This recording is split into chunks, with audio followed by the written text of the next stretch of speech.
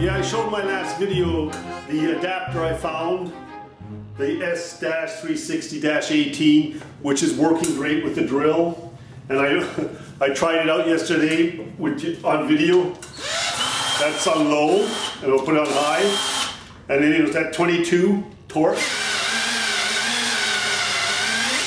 And the gloves warming up. You have no problem with your torque aspect with this, with this um, adapter. Now, I um, was chatting, I would show everybody that I put a cover over the electrical. Here's a close-up of what I did.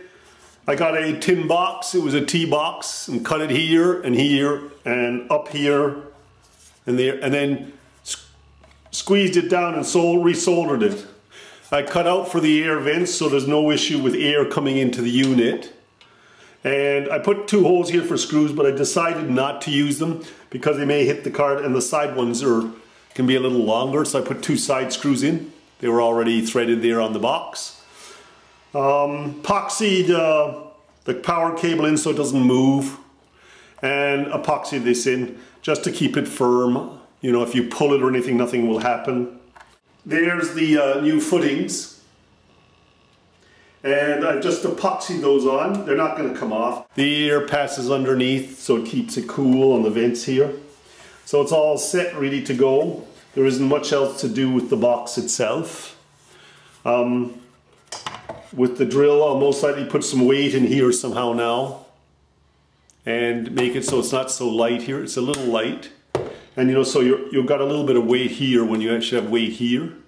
So it's a little bit on the wrist if you're doing long time. It's lighter drill though, so I'm pleased with that. So, anyways, there it is. It's all working great, and I'm having no problems at all. So it's all ready to go. I'm also going to add a couple more plugins here, which you can do, and then I will use, uh, which are coming by eBay, the plugins. I can't find it right now. I'm in a bit of a mess.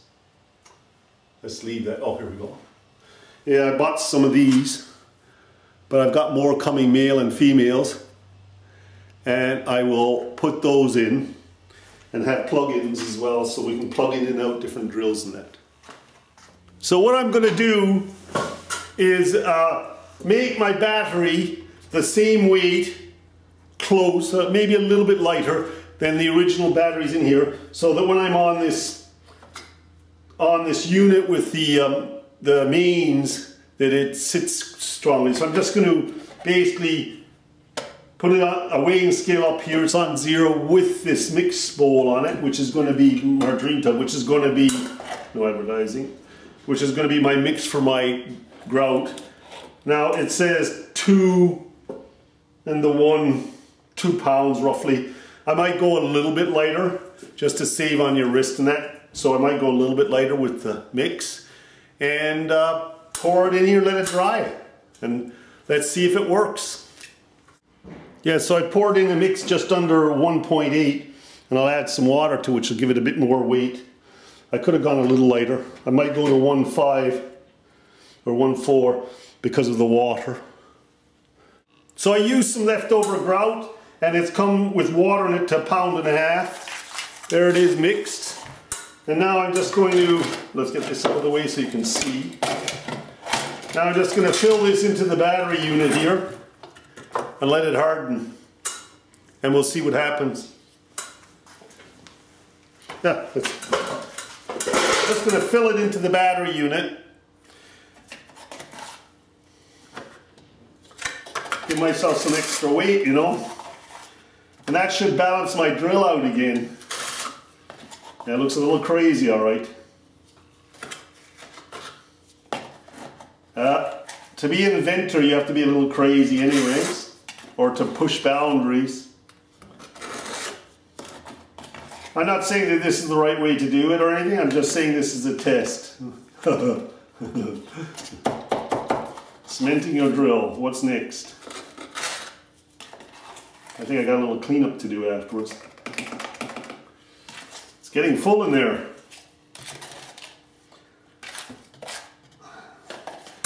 I'm just going to finish filling it and show it to you. So I made it as full as I can. I'm just cleaning out the screw hole so that the top goes back on. There was a little bit less. I'm lucky I didn't mix more. I kind of thought that might happen. And I'm just going to clean out this edge here or where the drill comes together, wipe it a bit, and we're done and we'll let it dry. It's a fair bit of weight. It's not as heavy, I don't think, as that one, but as the original. But it'll do.